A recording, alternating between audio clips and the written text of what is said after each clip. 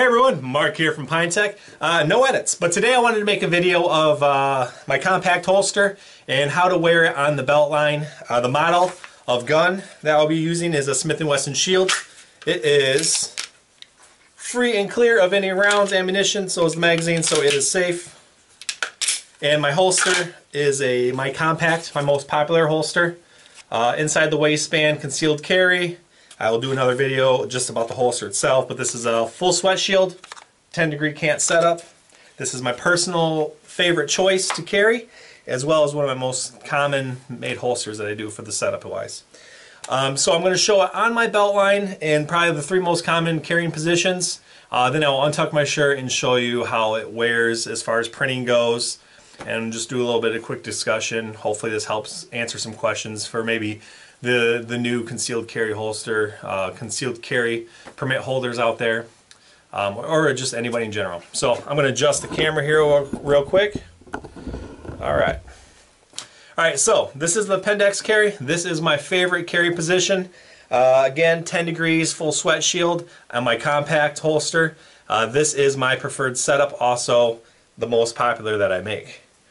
Um, as you can see here, uh, I have no problem with the 10 degree as far as drawing. I like it. Uh, a vertical, straight up and down.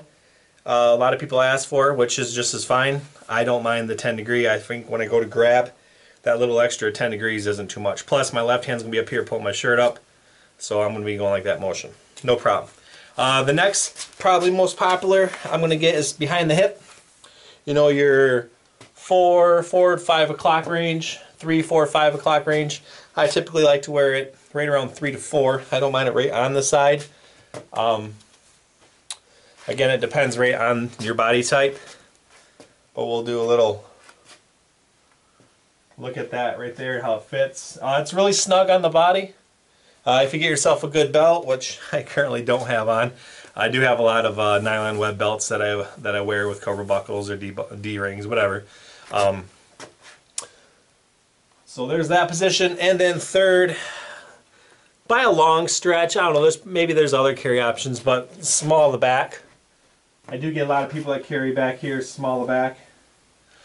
Um, not really my favorite choice. I think it's just because in the seating position, it really pushes on my lower spine, and I don't like that. Um, and then two, a lot of people ask, you know, do I order a right hand or a left hand? And I guess that's up to you, your flexibility, your body type. For me, if I'm going to carry this smaller back, I'm going to use this probably the same holster. Um, for me, because I can reach around, pull it, and then draw pretty easy. Um, otherwise, there's the palm in is how it is.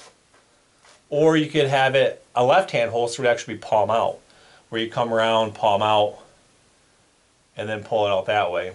But if you're right-handed, you're really limiting your holster options. I mean, you order that, you're stuck with that. As if you do a right hand and maybe just practice with that draw, again, it's going to be what's comfortable for you. Um, you'll be able to use your holster anywhere.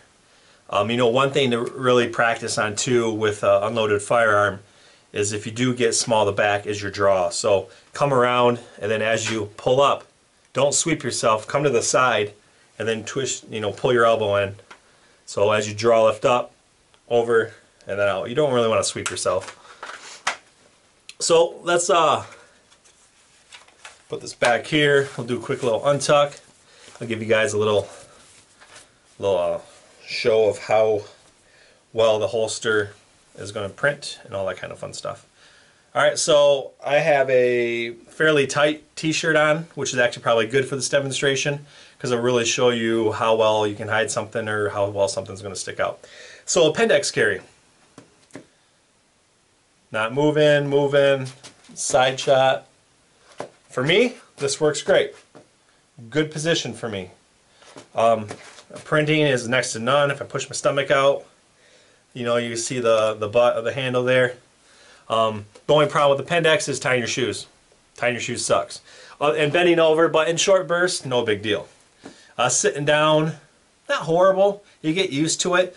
Uh, carrying a holster is comforting that you have a firearm and you're there to protect your life. Um, and it's also uncomforting at times. So it's a kind of a it's uh, you got to give something to gain something. All right, so let's go next position. We're gonna go around to let's call it four o'clock. We're gonna go back to four o'clock. Put it up nice and tight. All right, so we'll do a little spin. You might see a little of the butt of the handle. Um, if you're new to uh, concealed carry, you might be a little nervous at first as far as printing. Uh, my recommendation is don't worry about it. Uh, I've been carrying for a little over six years, and I think that at first you kind of worry about it, like you think it's a big deal, like someone's going to notice it. But I don't think people do. No one cares. No one looks to that area. Everybody has huge cell phones nowadays or something on their waistline that no one probably thinks twice of it. Um, I see people open carrying all the time. I go, hey, look at that person open carrying. And like, oh, what? Someone has a gun out? You know, most people don't even notice it. So anyways, I think that's a feeling that's naturally going to subside. But for now, if you're new, uh, you might worry about a little bit. That's all right. That's probably natural. All right, so 4 o'clock. Uh, the biggest thing that I notice when I carry back here is when you bend over, you know that bad boy's to show. But again, it's usually a quick burst. Like kid drops something on the ground or whatever, you go pick something up. There you go. Done and over with. Um, there. You know, like actually, that's a perfect example. It got hung up on my shirt a little bit. Again, this is a tight shirt, but it got hung up, you know. And one thing too, if you're uh, carrying, uh, don't play with your holster. You know, get a good belt, um, which hopefully in the future I'll be making some belts here. But get a good belt. Um, you don't want it sagging and all that kind of stuff. So that's probably one of the biggest things. Good holster, good belt. And then we'll do small back real quick. Again, I'm trying to cut down on the video time here. I like to ramble though. All right, small the back. You know, for standing up and all that kind of stuff, this really isn't a bad position. I think it's kind of comfortable. I just hate sitting down with it on the small of the back. It's um, very uncomfortable for me have the gun pushing against my spine. But again, bending over might show off a little bit at first. But yeah, so again guys, that's my compact holster. Uh, Smith & Wesson Shield, which is a great concealed uh, carry weapon um, Glock 43, PPS, M2, any any of those any of those XDSs, any of those guns that are like one inch wide are fantastic to carry. They're really comfortable. Um, this actually isn't my primary carry gun. My primary carry gun is M&PC Compact 40 cal. This is my primary gun. Same holster for the most part, and it's got a little more thickness width to it. But again, and it's got more weight. I'm just used to it. This is the gun I've been carrying for six years. I have more guns, and this is just my workhorse. It's the gun that I carry, and I practice with it, and I'm used to it. So, anyways, uh, thanks for watching my video, guys. I uh, hope that helped. If you want me to make any more videos or elaborate on something, let me know. Um, I'll also do a, a video on the M&P Shield there, that holster. So Thanks for watching my videos. Visit my site, www.pyntek.com. I'm on Instagram, Facebook, a little bit of Twitter. Um, thanks for watching.